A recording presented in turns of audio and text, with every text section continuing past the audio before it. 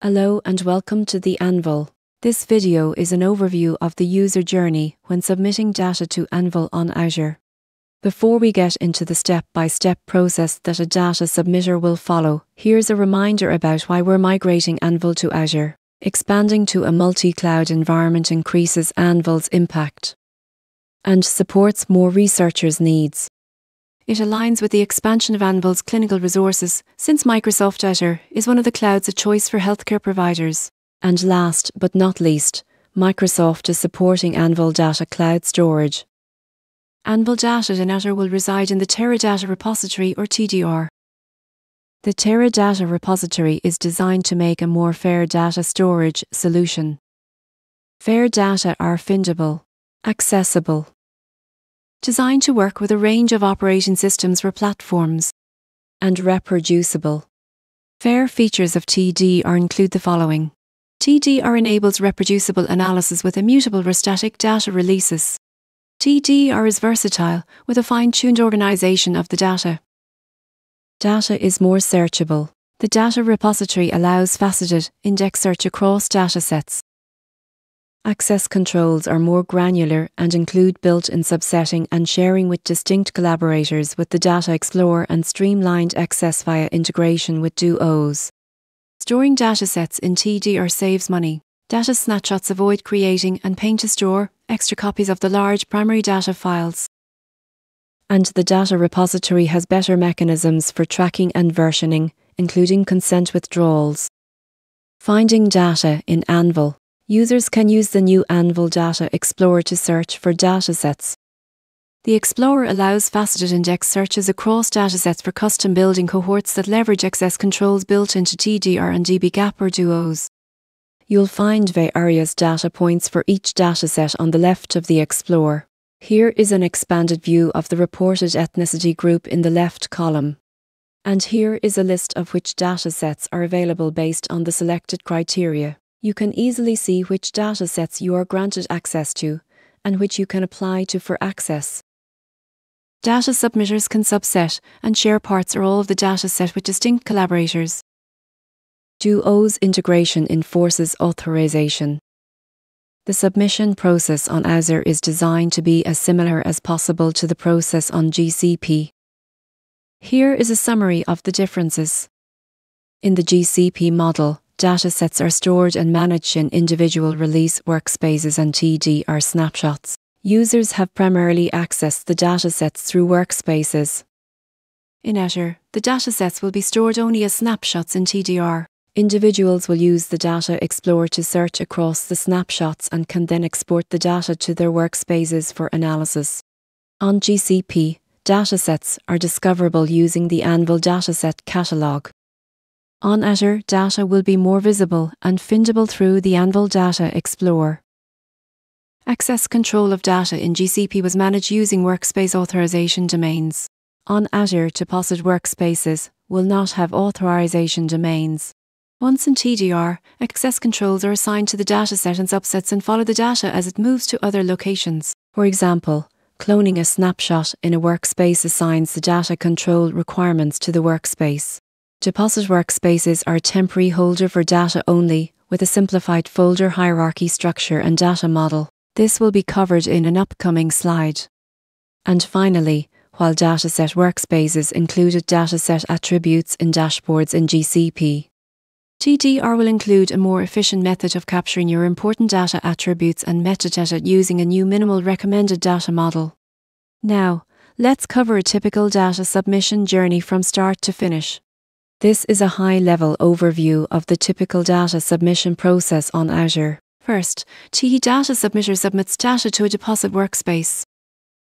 Next, the Anvil Data Ingestion Team ingests data into TDR. Note that different consent groups within a deposit workspace are separated into different datasets. Last, the Anvil Data Ingestion Team creates immutable or static snapshots that will then be findable in the Anvil Data Explorer. Submitting incremental data follows the same flow, with the data submitter depositing new data to a new deposit workspace. The Anvil team then ingests the data to an existing dataset and creates a new snapshot. Before we go step by step with data submission and release activities, let's go over snapshot access permissions. For purposes of permissions, datasets are divided into snapshots by PHS ID. Snapshots are created with data access controls for the following groups. Anvil admins are the custodians. BIs or the PIs designated data submitters or Terra group are readers. Anvil developers, everyone on the dbGaP access list, and the Duos group, which is added during the data release, are readers. Snapshots can be shared with read access, no sharing, and compute off or lock permission. Note that data will be protected once it's shared. When a snapshot is imported to a workspace, the access permissions will be applied where the snapshot resides. We'll now go step by step through the release process. In the upcoming slides, note the colours of this image and the relationship between the groups. Grey is the activity of the data submitter. Orange is dbGaP. Blue is the Anvil ingestion team. And purple is the data user. Note that this submission process assumes that the Anvil Review Board has approved the study to be hosted in Anvil through dbGaP. For new projects that have not yet been approved, data submitters would complete an Anvil onboarding application. The first three steps are where the data submitter works with dbGaP to register the study. The journey starts with the data submitter reaching out to dbGaP and registering the study. The registration process requires approval by the Genomic Program Administrator. Registration may take several months. Registration is complete once the GPA has signed off on the study and the status is completed by GPA. At this point, the consent groups have been assigned, which is required for data submission to Anvil. This is the point where a data submitter would reach out to Anvil. Once the study is registered in dbGaP, the data submitter contacts the Anvil support team by sending an email to anvildata at broadinstitute.org. This generates a Zendesk ticket for tracking and coordinating the next steps through the lifetime of the release. Next, Anvil tells the data submitter that the data are released and coordinates any data cleanups. Last but not least is the data released to users on the portal.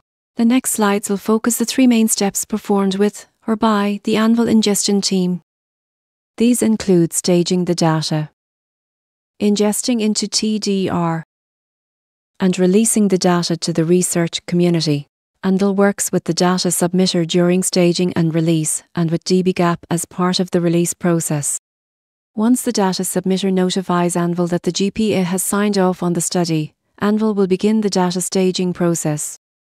The Anvil ingestion team will create a deposit workspace and contact the data submitter to confirm user access and timeline expectations. Anvil ingestion team will provide guidance on staging the data, including creating folders in a specific directory hierarchy and how to structure the tabular metadata and phenotypic data in a data model. The data submitter states the data in the deposit workspace, setting up a cloud directory hierarchy and uploading genomic and metadata tables in the deposit workspace. The next four slides show how to create a folder hierarchy and deposit the data in the deposit workspace. If you're familiar with submitting data on Terra on GCP, the Terra website is not changing. The URL remains the same. You can continue using your existing Terra account to access both Google and Azure workspaces. There's no need to set up a billing project specific to Azure because Anvil will start up the deposit workspace. In other words, Terra is Terra, you don't need to create a Microsoft identity to work in an Azure workspace. The deposit workspace storage needs to follow a specific directory structure. Name the top level folder as the PHS ID followed by the consent code. For instance, in this image, dataset 1 corresponds to one PHS ID, one consent code. Within the same deposit workspace, dataset 2 is a different consent code. Within each top level folder, you'll create two separate subfolders, one for genomic data files, which is named data files, and one for the tabular or metadata files, named tabu data. Then you'll upload the files into the folders you created. You can upload smaller files right in Terra. For files greater than about 3 gigabytes, use either the Microsoft Storage Explorer application or the AzCopy command in a command line interface. You'll find links to Terra support docs in the comments below the video. Let's clarify the deposit workspace access controls. Anvil admins have admin permission. PIs or designated data submitters are writers on the deposit workspace by default. Some caveats on securing controlled data on Azure. Deposit workspaces will not have authorization domains. Instead, the dedicated tier on Azure environment provides security and logs data access required per NIH security policy. Note that by default, all data submitters can perform computations because they have writer permission. This was not the case on GCP. Which brings us to best practices for data submitters using the deposit workspace. As Requester Pays functionality is not currently available in Anvil on Azure, compute and egress charges in the deposit workspace will be built to the Anvil program. Therefore, data submitters are expected to abide by the following guidelines. Only upload data that applies to the current approved data submission. Only upload data within the data size limit approved by the Anvil program. Release data in a timely manner per NIH GDS guidelines. Without express written permission from Anvil, data submitters cannot run compute or analysis in a deposit workspace or egress data from the deposit workspace. Cloning the deposit workspace is also not allowed because at this time, if a deposit workspace is cloned, access to data tables will not be protected. Note that deposit workspaces will be deleted after data are released. Let's talk about dataset metadata. If you're familiar with submitting data in GCP, we collected data attributes from the data submitter and included them in the Workspace Dashboard Attributes table. This is going away on Azure. Attribute data will be linked to the snapshot and findable in the Anvil Data Explorer. Capturing and presenting these data points is currently in development with Duos as a possible solution. Also, a change from GCP the About the Workspace section in the Workspace dashboard will not be presented in snapshots. Again, how we would present this information is in development. Next is the set ingestion. Once all data has been successfully loaded into the deposit workspace, the Anvil support team will coordinate a final data submitter sign off. THEN ingests the data into TDR.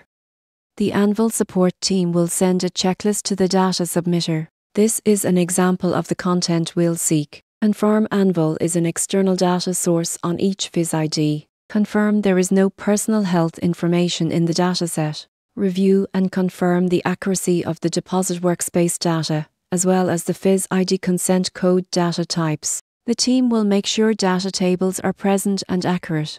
In addition to the checklist, the data submitter would also complete the table at the bottom and designate a person to confirm that the data set is complete and can be released. This acts as a final signature. Note that snapshots are immutable. Making changes after release will require a new snapshot or version update. Once the final sign off is received, the Anvil ingestion team proceeds with the release of the data. First, the Anvil ingestion team creates a snapshot of the data, Anvil ingestion team then coordinates with dbGaP to establish access controls. Anvil ingestion team takes care of a number of details. Reach out to the Phenotype curator at dbGaP to change the status of the study to released. The data submitter will be included on email sent to dbGaP. Link dbGaP data access list to a dbGaP Terra group and add the Terra group to the snapshot. Ensure the DUOS ID, if applicable, is added to the snapshot. Lock the snapshot so no one may add, delete, or modify data. And finally, add a release tag to the snapshot, which will signal adding it to the catalogue. The dataset will appear on the Anvil Data Explorer. Once the dataset is released, Anvil will notify the data submitter that the dataset is available to the research community for access requests through dbGaP. The deposit workspace will then be deleted 30 days after the release. The Anvil ingestion team will alert the data submitter of a deletion date. The Anvil ingestion team will first remove all access to the deposit workspace upon data release. This is to allow time for users to alert the data submitter or Anvil of any issues with the released dataset. On the deletion date, Anvil will notify the data submitter that the deposit workspace was deleted. This wraps up the presentation. If you have any questions, please reach out to the Anvil team at anvildata at broadinstitute.org. Thank you for watching.